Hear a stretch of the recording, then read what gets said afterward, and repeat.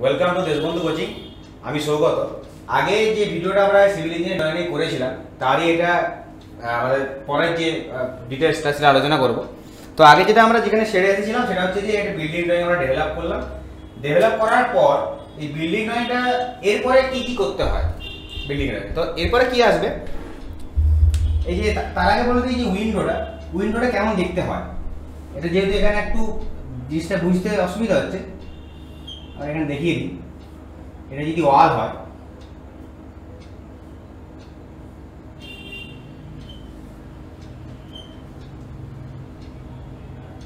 উইন্ডোটা এরকম দেখতে হয়। এটার মানে কি? এই যে যেটা, এই যে এটা এটা হচ্ছে উইন্ডো ফ্রেম ঠিক আছে? উইন্ডো ফ্রেমের এই এই পুরো চৌকাট হচ্ছে ফ্রেম মানে ফ্রেম কেউ দেখতে হয়? উইন্ডো এরকম ফ্রেম দেখতে হয় উইন্ডো ফ্রেম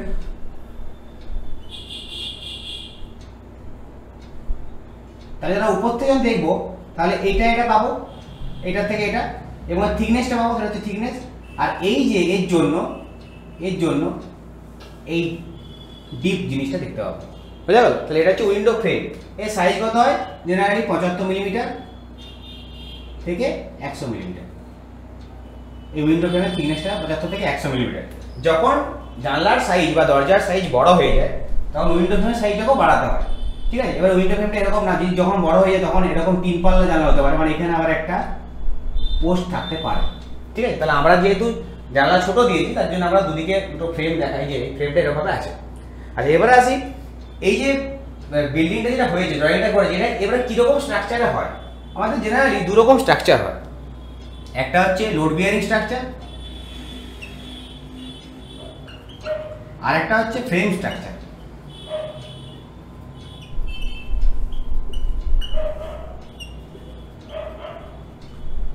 তো স্ট্রাকচার মানে কি? যে পুরো বিল্ডিং এর লোডটা বিয়ার করবে ব্রিক্স মানে ইট। এবং ইটে মানে প্রথমে এই বিল্ডিং এর উপর স্ল্যাব থাকবে, ছাদ, ছাদের লোডটা আসবে কোথায়? দেওয়ালে।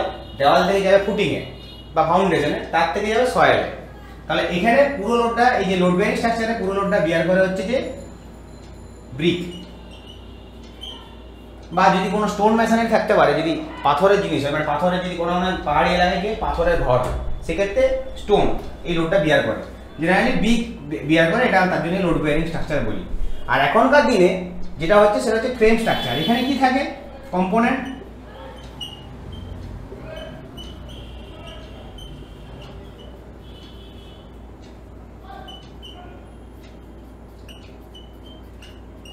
এরকম কম্পোনেন্ট থাকে। প্রথমে থাকে স্ল্যাব একবারে টপ মোস্টের স্ল্যাব থাকে, তারপরে থাকে বিম তারপরে কলাম ফুটিং। যদি আমরা মাটির নিচ থেকে দেখতে যাই, তাহলে প্রথমে আসে ফুটিং মানে যেটা মাটির নিচে থাকবে, তারপর এই মাটির নিচ থেকে কলাম উঠছে, তারপরে বিম, তারপরে স্ল্যাব। মানে কি, লোড ডিস্ট্রিবিউশন কেমনভাবে হয়? স্ল্যাব থেকে লোডটা আসে বিমে, বিম থেকে আসে কলামে, কলাম থেকে যায় ফুটিংয়ে, এবং ফুটিং থেকে যায় ফুটিংয়ের যে নিচে সয়েল দেয় সেই সয়েল তাহলে লোড বিয়ারিং স্ট্রাকচার আর ফ্রেম স্ট্রাকচারের মধ্যে এই হচ্ছে পার্থক্য। তো এখনকার দিনে, আগেকার দিনে কি হতো? ম্যাক্সিমাম জায়গায় আমরা লোড বিয়ারিং স্ট্রাকচার করতাম মানে এটা ব্রিক্সের দেওয়াল করতাম। কিন্তু এখনকার দিনে আমরা সব যদি এটা ব্রিক্সের স্ট্রাকচার তখন এটা আমাকে হ্যাজ লাইন দিতে হয়, এরকম ভাবে। ব্রিক্সের জন্য আমাদের একটা হ্যাচ লাইন থাকে, সেটা হচ্ছে এরকম। এটা যদি আমরা হ্যাচ লাইনটাকে একটু ডিটেলস ভাবে দেখি, তাহলে দেখতে পাবো কি?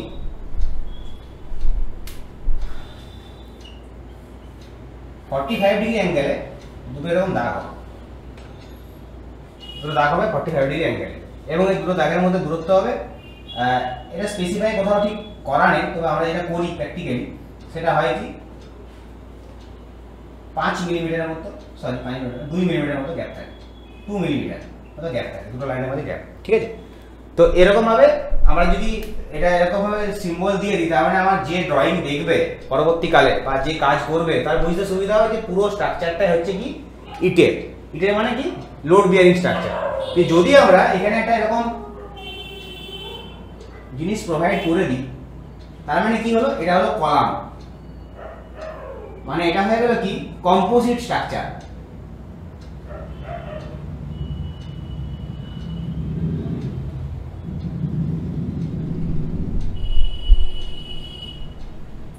এটা ফ্রেম স্ট্রাকচার এবং মানে এই যে পুরো লোডটা বিয়ারিং করছে, সেটা হচ্ছে যে লোড আমাদের ফ্রেম স্ট্রাকচার কিন্তু এর সাথে কি রয়েছে ব্রিক্সও রয়েছে। তাই এটাকে আমরা ফ্রেম স্ট্রাকচারও বলতে পারি। অনেক সময় এটাকে কম্পোজিট স্ট্রাকচারও বলা হয়। এর মাঝে একটা কলাম দিতে হবে।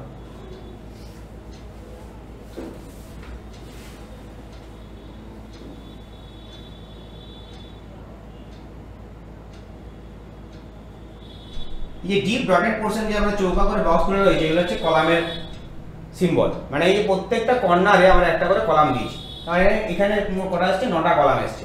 এরপর যদি আমরা তাহলে জিনিসটা বোঝা গেল, প্রথমে হলো যে আমরা প্রথমে যদি কলাম না দিতাম, তাহলে এরকম ভাবে ব্রিক ফাউন্ডেশন হয়ে যেত এবং সেক্ষেত্রে সেটা হতো লোড বিয়ারিং স্ট্রাকচার এখন আমরা প্রত্যেকটা এন্ডে বা জাংশনে আমরা একটা কলাম প্রোভাইড করলাম। এবারে কলাম কি করে প্রোভাইড করব, বা কোন কোন জায়গায় কলাম প্রোভাইড করতে হয়, সেটা আমরা পরবর্তীকালে কোনো একটা ভিডিওতে ডিটেলস আলোচনা করব। নইলে কীরকমভাবে কলাম প্রোভাইড করতে হয়, সেটা এত ছোটো করে বলা সম্ভব নয়। তবে আমাদের যে জেনারেল কনসেপ্ট থাকে কি, যে কোনো বেন্ডে বা যে কোনো দেওয়ালের জাংশনে আমরা একটা কলাম প্রোভাইড করি। তো এর জন্য আরও আরও জিনিস আছে যে লোড ডিস্ট্রিবিউশন আছে, কত লোড আসছে কলামের উপর তার জন্য দিতে হয়। তো সেটা আমরা পরে ডিটেলস আলোচনা করব। আমরা এই চারটা, তিনটা এন্ডে তিনটা দিলাম মানে মোট নটা কলাম হলো। এবারে দেখা যাক যে এই কলাম ফাউন্ডেশন বা ব্রিক ফাউন্ডেশনের ফাউন্ডেশনটা দেখতে কেমন হয়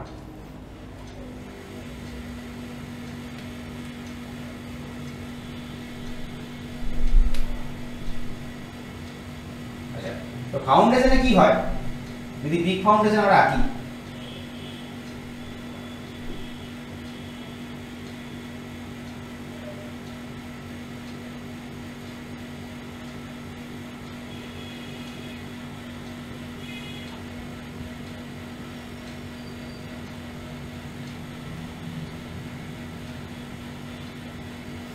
এরকম একটা লেয়ার থাকে, এটাকে বলে স্টেপ ফুটিং স্টেপ ফুটিং কেন? না ধাপের মতো ফুটিংগুলো আস্তে আস্তে নিচের দিকে নেমে এসে, স্টেপের মতো। তাই এর নাম হচ্ছে স্টেপ ফুটিং।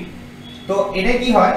এখানে দুশো পঞ্চাশ, তিনশো পঁচাত্তর,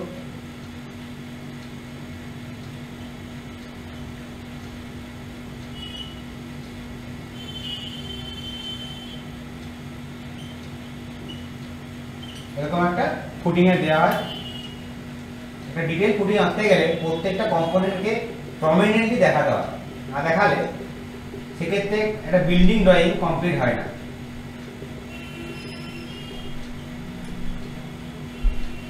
তাহলে এগুলো কি হলো?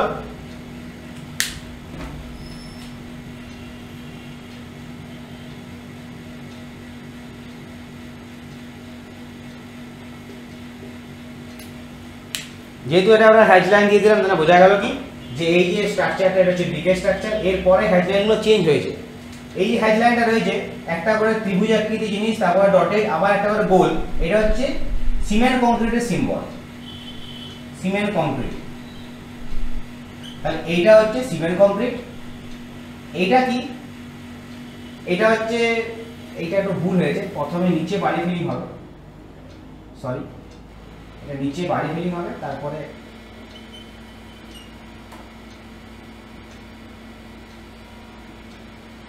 এটা যে সিম্বলটা দেখছি, এটা হচ্ছে যে বিএফএস ব্রিক ফ্ল্যাট সোলিং এর সিম্বল আর নিচে যেটা ডটেড শুধুমাত্র লাইন থাকবে মানে হ্যাচ থাকবে, এটা হচ্ছে স্যান্ড ফিলিং তাহলে এটা হচ্ছে বিএফএস এটা হচ্ছে স্যান্ড ফিলিং তাহলে প্রথমে আসলো স্যান্ড ফিলিং মানে মাটি কাটার পর, গর্ত কাটার পর প্রথমে আসবে কি? স্যান্ড ফিলিং তারপরে আসবে বিএফএস ব্রিক ফ্ল্যাট সোলিং তারপর আসবে এটা পিসিসি এটা সিমেন্ট কংক্রিট বলছি, আমরা পিসিসি মানে হচ্ছে প্লেন সিমেন্ট কংক্রিট মানে কোনো রড থাকবে না।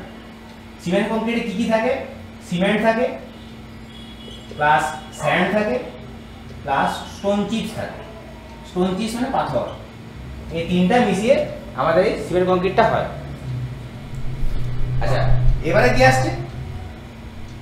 নেক্সট আমরা দেখছি, তাহলে এটা হলো যে ব্রিক ফাউন্ডেশনে যদি আমরা কোনো আমাদের যে ফাউন্ডেশন হয় সেটা। এবারে আমরা আসব যদি কলাম ফাউন্ডেশন হয়, সেক্ষেত্রে আমরা কীরকম ফাউন্ডেশন দেখতে পারব? এখানে দুটো জিনিস থাকে। একটা লেভেল থাকে, ধরো এই একটা লেভেল রইল। এই লেভেলটা হচ্ছে জিএল বলা জিএল আর একটা লেভেল থাকে, তার নাম হচ্ছে পিএল তাহলে জিএল মানে হচ্ছে গ্রাউন্ড লেভেল মানে যেখান থেকে আমরা যেটা দেখতে পাচ্ছি সারফেসটা মানে এর তলে মাটিটা কাটবো আমরা। আর জিএল থেকে পিএল এর হাইট হয় ছশো জেনারেলি ডিপেন্ড করে, বাড়তেও পারে, কমতেও পারে জেনারেলি কমে না। জিএল থেকে পিএল মানে কি? যে গ্রাউন্ড লেভেল থেকে কত উপরে গিয়ে ঘরটার লেভেলটা মানে ঘরের যে মেঝেটা সেটা শুরু হবে। সেটাকে পিএল বলা হয়। পিএল উপরে কখনো কখনো এফএল থাকে ফ্লোর লেভেল মেঝের লেভেলটা তো অনেকে কি করে? যে গ্রাউন্ড লেভেল থেকে তো ঘরটা যদি উপরে না তুলি, সেক্ষেত্রে কি হবে? যে গ্রাউন্ড লেভেল মানে কি? এখানে হচ্ছে যে রাস্তা থাকবে, এই সাইডে রাস্তা আছে। এবার যখন কোনো কনস্ট্রাকশন হয়, আমরা সবসময় কি করি? গ্রাউন্ড লেভেল থেকে ঘরটা উপর দিয়ে তুলে করি। তার কারণ হচ্ছে কি? যে রাস্তা যখন হয়, রাস্তা কিছুদিন পর পর রিপেয়ার হয়। রিপেয়ার হওয়া মানে কি? রাস্তার হাইট বাড়তে থাকে। রাস্তার হাইট কিন্তু কমে না। রাস্তার হাইট বাড়তে থাকে। যদি গ্রাউন্ড লেভেল থেকে আমরা ছশো একটা অ্যাপ্রক্স না উপরে ঘর করি, তাহলে কি হবে? রাস্তার হাইট বাড়তে হবে মানে কি? এমন একদিন যদি জিএল লেভেলে আমরা ঘরটা করি, ঘরের যে মেজাটা সেটা জিএল লেভেল তাহলে কি হবে? রাস্তার হাইট বাড়তে রইল মেজাটা তলে নেমে গেলো। সেক্ষেত্রে ড্রেনেজের সমস্যা হবে। মানে যদি ঘরের কোনো জল বাইরে বের করতে হয়, তাহলে আমার কি করতো ড্রেনেজের সমস্যা হবে, কারণ ঘরের লেভেল নিচু হয়ে গেছে আর এই জিএল লেভেল বা রাস্তা লেভেল উঁচু হয়ে গেছে। তাহলে বোঝা গেল? তাহলে জিএল এর নিচে যে স্ট্রাকচারটা তার নাম হচ্ছে সাবস্ট্রাকচার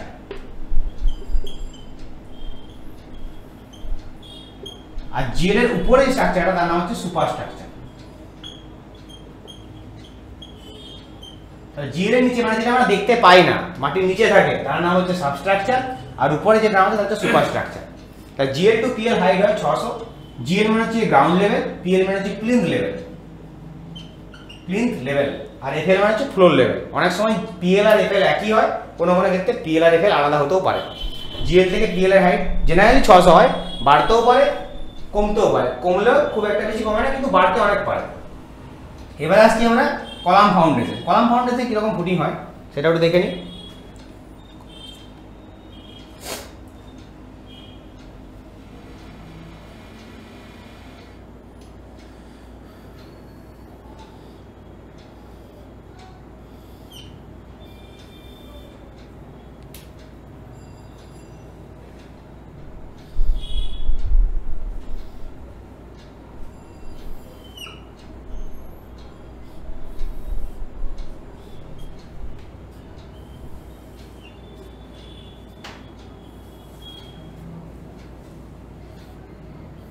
এটা হচ্ছে জিএল।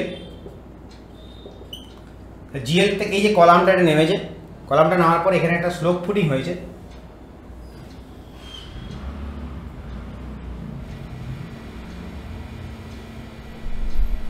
এটা হচ্ছে স্লোপ ফুটিং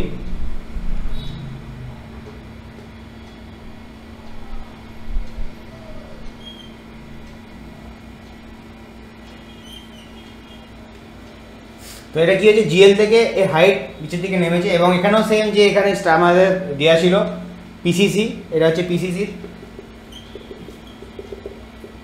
তারপর থাকবে বিগ ফ্ল্যাট সোলিং তারপর থাকবে স্যান্ড ফিলিং এবং এটা কি হয়? একটা ছাটে লেয়ার করে আছে, একটা স্লোপ হয়ে এটার নাম হচ্ছে স্লোপ ফুটিং